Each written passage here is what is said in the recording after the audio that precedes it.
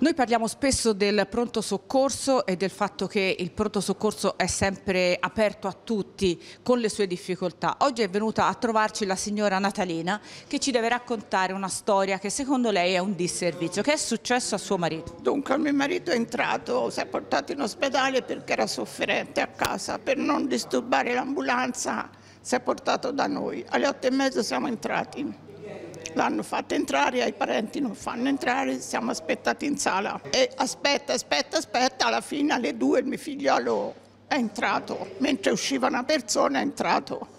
Dice voglio vedere se mio babbo è vivo o morto.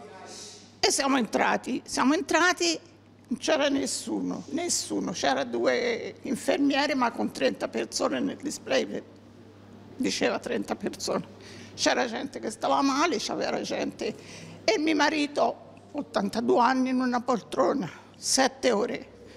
Nessuno ci ha detto niente. Alle 4 la mattina una dottoressa è arrivata, segnalato da bere perché aveva sete e ci ha detto che lo riteneva lì per accertamenti. Lei è andata a casa, suo marito, suo figlio è rimasto lì? Sì. No, la mattina, il giorno del sabato alle 4 mi telefona la dottoressa e mi dice che il mio marito si deve portare in cardiologia perché ha un infarto in corso.